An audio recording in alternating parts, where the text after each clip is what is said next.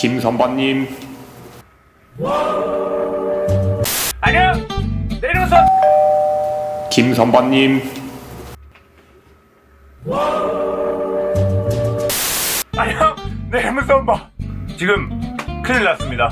제 방이 제가 정말 앉아있는 이 공간 말고는 선물로 꽉 차버렸습니다. 제가 진작에 이거를 얼렁얼렁 했어야 됐는데 또 이런저런 일 때문에 미뤄지다 보니까 어, 이 지경이 되어버렸는데요. 그래서 전에도 한번 말씀드렸다시피 선물 개봉 스트리밍을 할까 말까 고민했었는데 이제 더 이상 할까 말까의 그 고민 단계가 아닌 무조건 해야 되는 지경에 이르렀습니다. 그래서 지금 여러분들께 공지를 하기 위해 영상을 찍고 있는데요. 내일 화요일 8시 제가 평소에 시- 영상 올리는 시간이죠. 화요일 8시에 선물 개봉 스트리밍을 진행하도록 하겠습니다.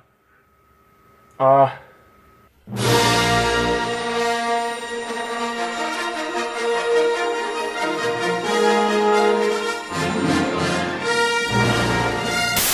한 3시간, 4시간, 몇 시에 끝날지 모르는 지옥의 스트리밍 챌린지가 될 것 같군요. 네. 어, 선물이 너무 많이 왔습니다. 보내주신 분들 너무 감사하고, 저는 지금 너무 무섭고 궁금해요. 안에 도대체 무엇이 들어있을지.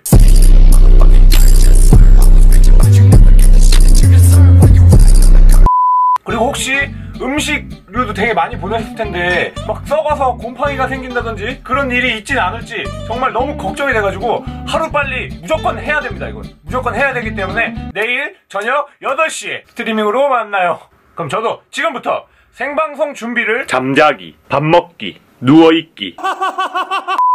자 그럼 우리 모두 다 같이 이 박스 안에 있는 물건들이 잘 보내줄 때 상태 그대로 잘 보존돼 있길 기도하면서 내일 스트리밍에서 만나요 안녕 어.